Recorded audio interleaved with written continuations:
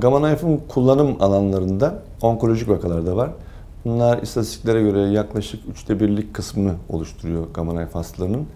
Bunların da çoğunluğu metastazlar. Metastazlar yani bir başka bölgedeki kanserin beyine sıçramış hali uygun vakalarda ne demek istiyorum?